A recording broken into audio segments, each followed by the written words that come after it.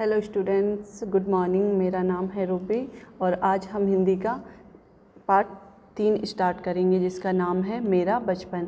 ठीक है बच्चों? जो मेरा बचपन पार्ट है, वो उसके राइटर हैं या लेखक हैं मोहनदास करमचंद गांधी।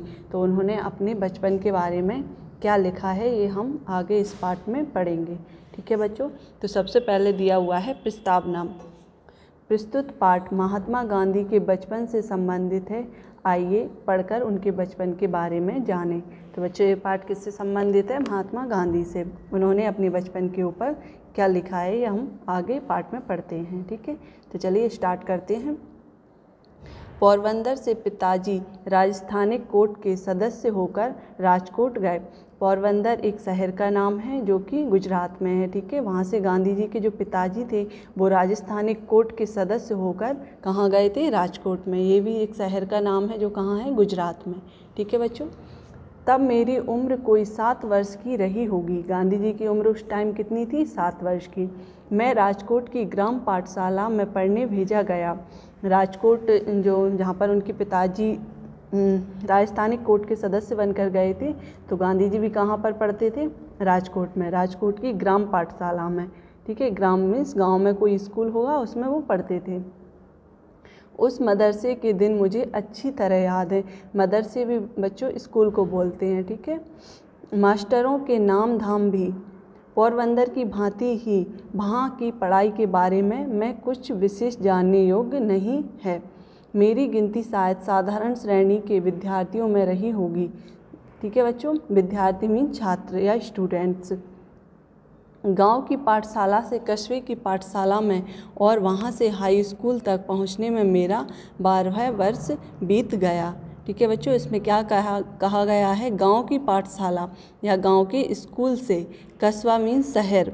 शहर की पाठशाला या फिर स्कूल में और वहाँ से हाई स्कूल तक पहुँचने में मेरा बारहवा वर्ष बीत गया। तब तक मैंने कभी शिक्षकों को धोखा दिया हो, ऐसा याद नहीं आता। बच्चों, फ़र्स्ट क्लास से लेके बारहवीं क्लास तक का गांधी जी बोलते हैं कि मैंने कभी अपने शिक्षकों को धोखा नहीं दिया।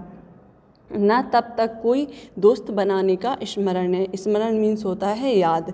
तो बारहवीं क्लास तक गांधी जी के कोई दोस्त भी नहीं थे फ्रेंड भी नहीं थे।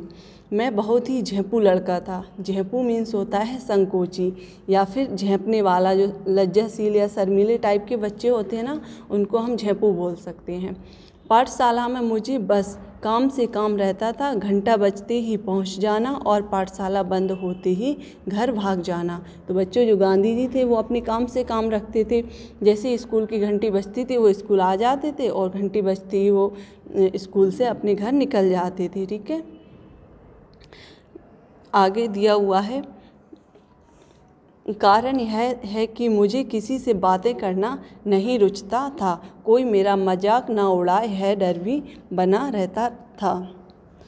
बच्चों, इसमें हम थोड़ा सा ऊपर एक लाइन भूल गए हैं। पहले वहाँ से स्टार्ट करते हैं। भागना शब्द मैं जानबूझकर इस्तेमाल कर रहा हूँ। कारण यह है कि मुझे किसी से बातें करना नहीं रुचता था। कोई मेरा मज़ाक ना उड़ाए है, भी डर बना रहता था। तो गांधी जी को ऐसा लगता था कि कोई उनका मज़ाक उड़ाएगा और उनको किसी से बातें करना भी अच्छा नहीं लगता था। तो वो स्कूल का जैसे ही घंटा बजता था, घर निकल जाते थे, ठीक है? वहाँ पर उनके कोई फ्रेंड भी नहीं थे तो वो किसी से बात भी नहीं करते थे। ठीक है बच्चों, समझ आया? अब हम नेक्स्ट पेज पर चलते हैं। हाई स्कूल के पहले ही साल की परीक्षा काल की एक घटना उल्लेखनीय है। जब गांधी जी हाई स्कूल में पढ़ते होंगे, वहाँ की एक घटना उल्लेखनीय है। शिक्षा विभाग के इंस्पेक्टर जाइल्स स्कूल के मुआयने के लिए आए थे। कौन कौन आए थे बच्चों? इंस्पेक्टर, जो कि जाइल्स स्कूल के मुआयने मीन्स होता है सर्वे। ठीक है, सर्वे के लिए आए थे। उन्होंने पहले दर्जे के लड़कों को पाँच शब्द लिखवाए, जो पहले लाइन में बैठे हुए थे बच्चे। उनसे कितने शब्द लिखवाए? पाँच शब्द लिखवाए। उनमें एक शब्द मैंने गलत लिखा। गांधी जी ने एक शब्द गलत लिख दिया। मास्टर ने मुझे अपने बूट की नोक से चेताया। बूट मीन्स कुछ लकड़ी का डंडा वगैरह जो वो मास्टर थे वो हाथ में लिए होंगे, उससे गांधी जी को चेताया मतलब बताया कि इशारों में बताना चाह रहे थे कि आपने गलत लिख दिया। पर मैं क्यों चेतने लगा? मैं है, सोच भी ना सका कि मास्टर मुझे दूसरे लड़के की स्लेट देख देख कर हिज्जे दुरुस्त कर लेने का इशारा कर रहे हैं। हिज्जे दुरुस्त मीन्स होता है बच्चों, वर्ग विग्रह, या फिर जो वो मास्टर थे या टीचर थे, वो दूसरे बच्चे की स्लेट से देखकर लिखने का इशारा कर रहे थे।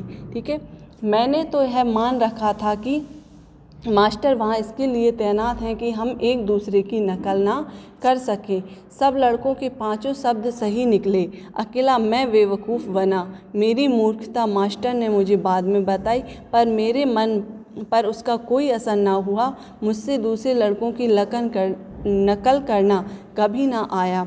इतने पर भी मास्टर के प्रति मेरा आदर कभी घटा नहीं। तो बच्चों, जो वो मास्टर थे या टीचर थे, वो गांधी जी को क्या इशारा कर रहे थे? जो उनका एक शब्द गलत हो गया था, उसको सही करने का। लेकिन गांधी जी ने ऐसा नहीं किया। और जब वो मास्टर ने बाद में उनको बताया, तब भी उन्हें कुछ फ़र्क नहीं पड़ा, क्योंकि वो किसी की चीटिंग नहीं करना चाह रहे थे। ठीक है बच्चों? लेकिन इसके बाद भी गांधी जी उन जो टीचर थे, उनका आदर सम्मान वैसे के वैसे करते थे। ठीक है?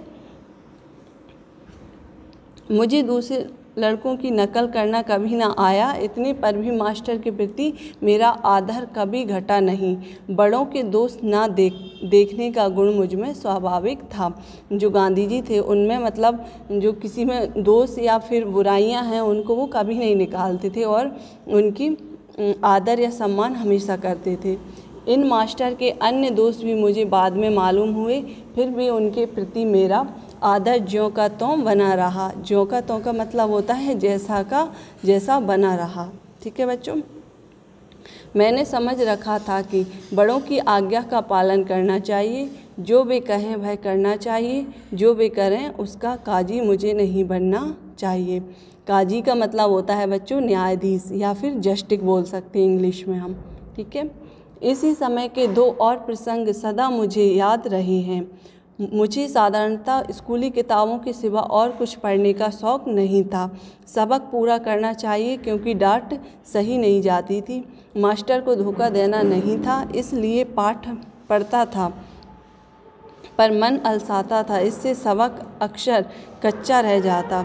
उस दशा में और कोई चीज़ पढ़ने की कहाँ सूझती पर पिताजी की खरीदी हुई एक किताब पर मेरा मेरी नज़र पड़ी। वह थी श्रवण पितृभक्ति नाटक। बच्चों गांधी जी जो थे वो पहले ज़्यादा किसी बुक्स पढ़ने में इंटरेस्ट नहीं लेते थे। बस जो उनकी क्लास की बुक हो, होती थी उनको ही पढ़ते थे। लेकिन उन्होंने एक दिन अपने पिताजी की एक जो बुक थी श्रवण पितृभक्ति नाटक उसे पढ़ने का पढ़ने की सोची ठीक है?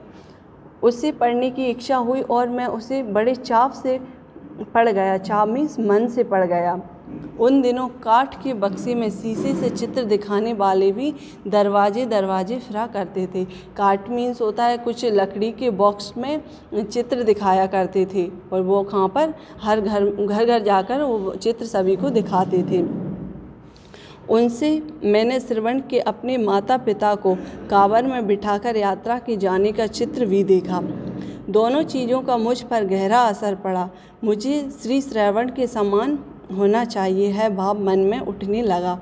श्रवण की मृत्यु पर उसके माता पिता का ब्लाप आज भी याद है। इस ललित छंद को मैंने बजा, बजाना भी सीख लिया। मुझे बाजा सिखान, सीखने का शौक़ था और पिताजी ने एक बाजा दिला भी दिया। तो बच्चों, गांधी जी ने जो बुक पढ़ी थी, उसी को उन्होंने चित्र में भी देख लिया। तो उनको वो बहुत ही अच्छी लगी, ठीक है? और उसको उन्होंने गाकर बोलना भी सीख लिया था। उसके लिए उनके पिताजी ने उनको एक बाजा भी दिलाया था, ठीक है? आगे दिया हुआ है, इस बीच कोई नाटक कंपनी आई, मुझे उसका नाटक देखने की इजाज़त मिली। तो उसी टाइम पर कोई नाटक कंपनी आई होगी और गांधी जी को उसकी इजाज़त या परमिशन मिल गई वो नाटक देखने की। उसमें हरिश्चंद्र की कथा थी। उस नाटक में किसकी कथा थी? हरिश्चंद्र की। है नाटक देखने से मेरी तृप्ति ही ना होती थी। मतलब उनकी इच्छा कभी समाप्ति नहीं होती थी, ठीक है? वो नाटक वो बार बार देखते थे। उसे बार बार देखने को जी चाहता, पर बार बार कौन जाने देता? किंतु मन में इस नाटक को सैकड़ों बार दोहराया होगा। हरिश्चंद्र के सपने आया करते थे। हरिश्चंद्र जैसे सत्यवादी सब क्यों नहीं हो जाते है? धुन रहती। तो बच्चों, गांधी जी बोल रहे हैं कि मुझे बार बार जाने की तो परमिशन नहीं रहती थी, लेकिन वो मन ही मन उसको दोहराते रहते थे। तो उनको क्या सपने आने लगे उसी के, हरिश्चंद्र के नाटक के? और वो सोचते थे कि हरिश्चंद्र जैसे सभी सत्यवादी क्यों नहीं हो जाते? यह धुन रहती। हरिश्चंद्र पर जैसी विपत्तियाँ पड़ी थीं, वैसी विपत्तियों को भोगना और सत्य का पालन करना ही वास्तविक सत्य है। मैंने तो मान लिया था कि नाटक में लिखी विपताएँ हरिश्चंद्र पर अवश्य पड़ी होंगी। हरिश्चंद्र का दुख देखकर उसे याद कर मैं खूब रोया हूँ। जो उन्होंने नाटक देखा था बच्चों, उसे देखकर वो बहुत रोते थे। आज मैं समझ गया हूँ कि हरिश्चंद्र कोई ऐतिहासिक व्यक्ति नहीं थे, फिर भी मेरे मन में हरिश्चंद्र और श्रवण आज भी जीवित हैं। मेरा ख्याल है कि आज इन नाटकों को पढ़ूं तो आज भी मेरी आँखों में आँसू आ जाएँगे। ठीक है बच्चों, ये हमारा चैप्टर यहाँ पर कंप्लीट हुआ है। मुझे उम्मीद है आप सभी को बहुत अच्छे से समझ आया होगा। गांधी जी ने अपने बचपन के बारे में लिखा हुआ है। वो कैसे पढ़ते थे, कैसे अपनी टीचर्स की आज्ञा का पालन करते थे और इसके बाद भी उन्होंने दो नाटक पढ़े थे जो कि किस किस के थे? श्रवण के और हरिश्चंद्र के। ठीक है? तो इस पाठ के राइटर कौन थे? मोहनदास करमचंद्र गांधी। ठीक है बच्चों? आगे कुछ शब्द ज्ञान दिए हुए हैं, हम उनको पढ़ते हैं। पहले नंबर पर दिया हुआ है मदरसा। मदरसा का हिंदी अर्थ होता है विद्यालय और इसको स्कूल में हम, सॉरी बच्चों, इंग्लिश में हम स्कूल बोलते हैं, ठीक है? मदरसा या विद्यालय को इंग्लिश में क्या बोलते हैं? स्कूल। श्रेणी। श्रेणी का हिंदी अर्थ होता है स्तर और इसको इंग्लिश में हम बोलते हैं स्टैंडर्ड, ठीक है बच्चों? इंग्लिश में क्या बोलते हैं? स्टैंडर्ड।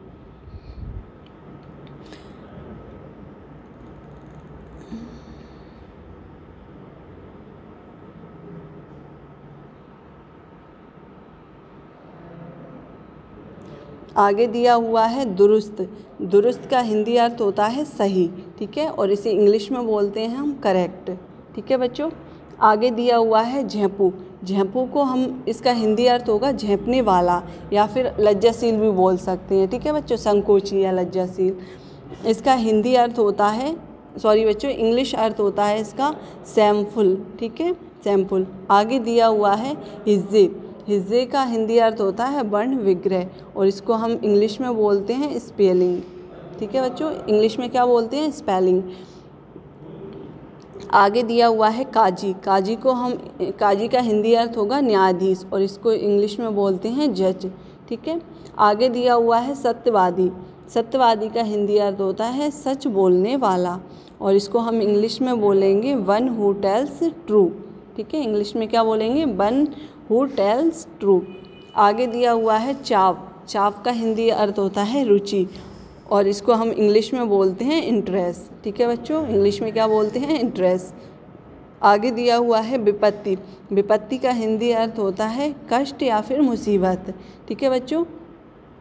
और इसको इंग्लिश में बोलते हैं डिसएग्रीज ठीक है बच्चों? ये हमारे शब्द ज्ञान कंप्लीट होते हैं। आगे नेक्स्ट पेज पर चलते हैं। कुछ अभ्यास प्रश्न दिए हुए हैं, जिनको हम सॉल्व करेंगे। तो फ़र्स्ट क्वेश्चन दिया हुआ है, सही उत्तर पर सही का चिन्ह लगाइए। ठीक है बच्चों, यहाँ पर हमें चार ऑप्शन मिलेंगे, जिनमें से जो सही होगा उस पर हम राइट का निशान लगा देंगे। तो पहला क्वेश्चन दिया हुआ है का नंबर पर, तब मेरी उम्र कोई वर्ष की रही होगी आ नंबर पर छः, बा नंबर पर सात सा नंबर पर आठ और द नंबर पर इनमें से कोई नहीं। तो बच्चों, इसका सही आंसर क्या हो जाएगा? ब नंबर पर सात। तो हम बा नंबर के आगे राइट का निशान लगा देंगे, ठीक है? तब मेरी उम्र कोई सात वर्ष की रही होगी। उस दिन मुझे अच्छी तरह याद हैं। आ नंबर पर स्कूल, द नंबर पर कॉलेज, सा नंबर पर मदरसे, द नंबर पर इनमें से कोई नहीं। तो बच्चों, इसका जो सही आंसर है, वो सा नंबर का हो जाएगा मदरसे। मदरसे के आगे हम राइट का निशान लगा देंगे, ठीक है? आगे दिया हुआ है गा नंबर पर, उन्होंने पहले दर्जे के लड़कों को शब्द लिखवाए। कितने शब्द लिखवाए? आ नंबर पर दिया हुआ है चार, बा नंबर पर पाँच, सा नंबर पर सात और द नंबर पर इनमें से कोई नहीं। तो बच्चों, कितने शब्द लिखवाए थे? पाँच। तो इसका जो सही आंसर है वो बा नंबर का हो जाएगा और उसके आगे हम राइट का निशान लगा देंगे, ठीक है? आगे दिया हुआ है घा नंबर पर। धोखा देना नहीं था। किसको धोखा नहीं देते थे गांधी जी? आ नंबर पर पिता, ब नंबर पर गुरु, सा नंबर पर मास्टर और द नंबर पर इनमें से कोई नहीं। तो बच्चों, जो हमारा सही आंसर है वो सा नंबर का हो जाएगा मास्टर, ठीक है? उसके आगे हम राइट का निशान लगा देंगे। आगे दिया हुआ है ड़ा पर। मुझे उसका देखने की इजाज़त मिली। किसको देखने की इजाज़त मिली? गांधी जी को। आ नंबर पर दिया हुआ है नाटक, ब नंबर पर खेल, सा नंबर पर करतब और द नंबर पर इनमें से कोई नहीं। ठीक है बच्चों? तो क्या देखने की इजाज़त मिली थी? नाटक। तो इसका आंसर आ नंबर का हो जाएगा और इसके आगे हम राइट का निशान लगा देंगे। ठीक है बच्चों? ये हमारे सही उत्तर या सही विकल्प कंप्लीट होते हैं। आगे चलते हैं। सेकंड क्वेश्चन दिया हुआ है, रिक्त स्थानों की पूर्ति कीजिए। ठीक है बच्चों, हमको अब खाली स्थान भरना है। पहला दिया हुआ है, मैं बहुत ही झेपू लड़का था। ठीक है बच्चों, इसके खालिस्तान में क्या हो जाएगा? झेपू लड़का था। आगे दिया हुआ है का नंबर पर, खा नंबर पर सॉरी बच्चों। मैंने समझ रखा था कि बड़ों की आज्ञा का पालन करना चाहिए। तो इसके जो सेकंड नंबर का खा नंबर का खालिस्तान है, उसमें क्या भर देंगे हम? बड़ों। फिर आगे दिया हुआ है, गा नंबर पर, श्रवण के समान होना चाहिए, है भाव मन में उठने लगा। तो जो हमारा गा नंबर का खालिस्तान है, उसमें क्या भरा हो जाएगा बच्चों? श्रवण। घा नंबर पर दिया हुआ है, हरिश्चंद्र जैसे सत्यवादी सब क्यों नहीं हो जाते? तो हमारा जो घा नंबर का खालिस्तान है, उसमें हम क्या भर देंगे बच्चों? हरिश्चंद्र। ठीक है? ड़ा नंबर पर दिया हुआ है मैं मेरे मन में हरिश्चंद्र और श्रवण आज भी जीवित हैं। तो पहले खालिस्तान में हरिश्चंद्र हो जाएगा और दो, दो खालिस्तान दिए हुए पहले में हरिश्चंद्र और दूसरे में श्रवण।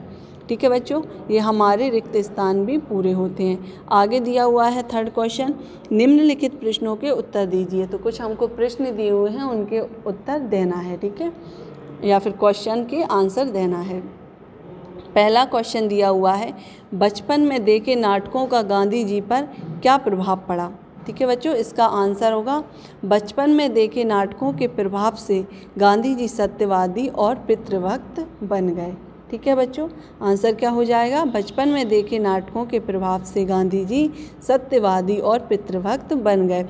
सत्यवादी की शिक्षा उन्होंने किससे ली थी बच्चों? हरिश्चंद्र से। और पितृभक्त की शिक्षा किससे ली थी? श्रवण से। ठीक है? ये दोनों नाटक उन्होंने अपने बचपन में देखे थे। आगे चलते हैं नेक्स्ट पेज पर। दूसरा क्वेश्चन दिया हुआ है, खा नंबर पर। सत्यवादी हरिश्चंद्र नाटक देखने के बाद गांधी जी क्या सोचा करते थे? सत्यवादी हरिश्चंद्र। नाटक देखने के बाद गांधी जी क्या सोचा करते थे? इसका आंसर होगा बच्चों गांधी जी ने सोचा, सभी हरिश्चंद्र जैसे सत्यवादी क्यों नहीं होते? जो हरिश्चंद्र थे, वो बहुत ही सत्यवादी थे। तो गांधी जी सोचते थे कि सब लोग हरिश्चंद्र जैसे सत्यवादी क्यों नहीं होते हैं? ठीक है बच्चों? तो इसका आंसर हो जाएगा गांधी जी ने सोचा, सभी हरिश्चंद्र जैसे सत्यवादी क्यों नहीं होते? ठीक है? आगे दिया हुआ है गा नंबर पर, गांधी जी को राष्ट्रपिता क्यों कहा जाता है? तो इसका आंसर होगा बच्चों, स्वतंत्रता आंदोलन के लिए किए गए योगदान के कारण गांधी जी को राष्ट्रपिता कहा जाता है। बच्चों, हमारी जो स्वतंत्रता संग्राम की लड़ाई हुई थी, उसमें गांधी जी ने बहुत ही योगदान दिया है, जिसके कारण हम उनको क्या बोलते हैं? राष्ट्रपिता, ठीक है? राष्ट्र के पिता कहलाते हैं। ये हमारे प्रश्न और उत्तर भी कंप्लीट होते हैं। आगे कुछ शब्द बोध दिया हुआ है, उसको हम पढ़ते हैं। पहले नंबर पर दिया हुआ है, निम्न शब्दों के समानार्थक शब्द लिखिए। कुछ शब्द दिए हुए हैं, उनसे हमको मिलते जुलते शब्द लिखना है, ठीक है? समानार्थक। पहला दिया हुआ है का नंबर पर विपत्ति। विपत्ति को बच्चों परेशानी भी बोलते हैं, ठीक है? विपत्ति को क्या बोल सकते हैं हम? परेशानी। आगे खा नंबर पर दिया है काजी। काजी का समानार्थी शब्द हो जाएगा न्यायाधीश, ठीक है? काजी का समानार्थक शब्द क्या हो जाएगा? न्यायाधीश। आगे गा नंबर पर दिया हुआ है झेपू। झेपू का समानार्थक शब्द हो जाएगा लज्जाशील, ठीक है बच्चों? आगे दिया हुआ है घा नंबर पर चाव। चाप का समानार्थक शब्द हो जाएगा शौक, ठीक है? आगे दिया हुआ है दुरुस्त। दुरुस्त का समानार्थक शब्द हो जाएगा स्वस्थ। दुरुस्त या फिर स्वस्थ? चार नंबर पर दिया हुआ है तृप्ति। तृप्ति का हिंदी अर्थ हो जाएगा खुशी। ठीक है बच्चों? ये हमारे समानार्थक शब्द कंप्लीट होते हैं। आगे दिया हुआ है दूसरे क्वेश्चन दिए गए शब्दों में दो दो पर्यावाची शब्द लिखिए। अब कुछ हमको शब्द दिए हुए हैं जिनके हमको दो दो पर्यावाची शब्द लिखना है। ठीक है बच्चों? पहला दिया हुआ है उम्र। उम्र को बच्चों हम आयु बोल सकते हैं। उम्र का पर्यावाची आयु और अवस्था होता है। ठीक है? उम्र के दो पर्यावाची क्या हो जाएँगे? आयु या फिर अवस्था। खा नंबर पर दिया हुआ है सुबह। सुबह के पर्यावाची हो जाएँगे बच्चों प्रातः या फिर सवेरा। ठीक है? सुबह को हम प्रातः भी बोल सकते हैं और सवेरा भी। विद्यार्थी, आगे दिया हुआ है विद्यार्थी। विद्यार्थी को हम छात्र भी बोल सकते हैं और शिष्य भी बोल सकते हैं। ठीक है बच्चों? आगे दिया हुआ है लड़का। लड़का को हम बालक भी बोल सकते हैं और बच्चा भी बोल सकते हैं। तो लड़का के पर्यावाची क्या हो जाएँगे? बालक और बच्चा। ठीक है बच्चों? ये हमारे शब्द बोध भी कंप्लीट होते हैं। इसी के साथ हाँ, यहाँ पर हमारा चैप्टर भी कंप्लीट होता है। ठीक है बच्चों? मुझे उम्मीद है आप सभी को बहुत अच्छे से समझ आया होगा। अगर कोई प्रॉब्लम होती है तो आप कमेंट कर सकते हैं और वो हमसे पूछ सकते हैं। ठीक है? अब हम आगे नेक्स्ट क्लास में मिलेंगे, तब तक के लिए आप स्वस्थ रहिए, खुश रहिए। Thank you